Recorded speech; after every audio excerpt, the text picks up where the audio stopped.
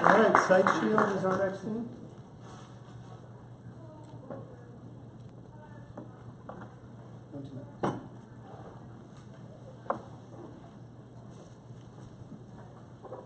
Red alert! The National Weather Service has issued a tornado warning for northeast Harnett County and central North Carolina, south central Wake County and central North Carolina, central Johnston County and central North Carolina until 5:30 p.m. Does that apply to us? Where do you shelter in this building? These are some serious questions. This is why these are some serious questions. This is my church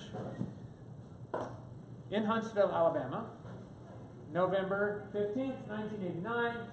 A, an F4 tornado came through and tore up this church and a whole bunch of other stuff, killed 21 people, and fortunately, they were able to do an organ transplant and save the pipe organ from the church. Same storm, my brother's two story elementary school. You may notice that it is not two stories anymore. These people need to take cover. You need to take cover when there's a tornado warning. Here is the tornado warning polygon that I just read to you the first part of. So when they issued that alert, they, they mentioned Angier. Did, who, who knows where Angier is? All right, well, that's some of you. And, and, and here's where Angier is. Now you know where Angier is, right? Because you know where you are on this map. But that's because you're smart people and you know where you are. All right. But suppose you are one of these visitors. I saw a guy from the other side of the Atlantic Ocean just a minute ago. He probably does not recognize his location on this map. Notice that this polygon does not observe the political boundaries. Mother Nature doesn't much care for our political boundaries here. That makes this challenge a little harder. Makes for some confusion when the tornado warning is issued. It makes it harder to keep up with whether you're in or out, whether you need to shelter, whether you don't. This is the answer. We're going to save some lives here. We're going to save lives by telling people only the one the warnings that they care about not the ones that are for the whole county because if there's a tornado warning in Angier, God bless them, but I don't have to do anything right now. That's the whole point.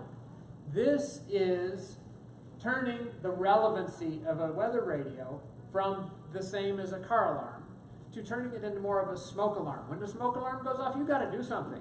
You've got to turn off the oven or you've got to get out of the house You've got to do something when the smoke alarm goes off. We're making it so that you have to do something. And by doing that, you increase compliance with the warnings. By increasing compliance with the warnings, you get people sheltering when they need to shelter, and that really helps. You also save time. You don't shelter when you don't need to. So this is great for the workplace at Red Hat. If you shelter everybody at Red Hat for tornado warning in Angier, they're going to come after you. This is the flagship product. This is the Raspberry Pi that sits at a fixed location at Red Hat in this building, somewhere else. It knows its location. It listens to the weather radio transmission as a backup to the internet transmission. The weather radio transmission only includes the county data. The internet provides the polygon and the vector for the storm so that you can issue a warning that pertains just within like 15 minutes of where the storm's arriving and where it's leaving. Who needs this stuff? Anybody with a big roof? Have you ever seen the pictures of a gymnasium after the storm comes through? Oh my gosh, this was a shopping center the day before this picture was taken. It's not anything anymore. And I can think of quite a few big roofs. This is where it's hot stuff. In this area, people know what tornadoes are. They sell tornado shelters in the shopping malls. I am not kidding. There's cookies and sunglasses and tornado shelter. I'm, I'm not kidding. That, that, I've seen it. That's what goes on in Tornado Alley.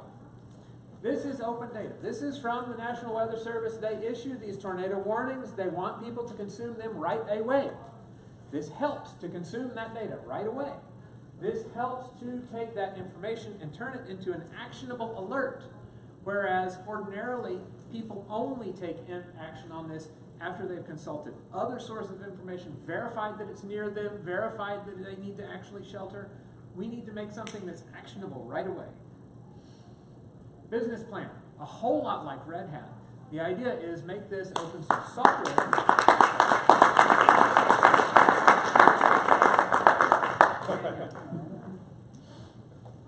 Okay, very good. I get the smoke alarm Yeah. uh, analogy, I like that. The, is, the- is the idea for people who do not have a smartphone, or is it more for businesses or individuals? I, I heard. Right. So the, the product first is for businesses, and you want to do a site-specific alerting. My cell phone goes off. I don't know if that's where the tower is. I don't know if that's where the other thing is. I don't know if that's if if the storm is 45 minutes that way. If it's going to be here in 45 minutes, I don't need to do anything for 20, and then I need to shelter.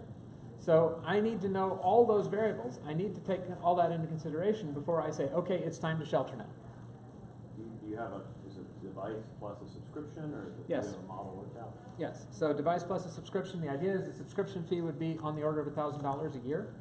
And that subscription fee, uh, is in line with what they charge for fire alarm systems and things like that. So the fire alarm pull station is like twelve fifty a year, according to the price list for the folks that do it. So, same kind of thing. Can you go back to that chart, Which one? the the pricing chart? Yep.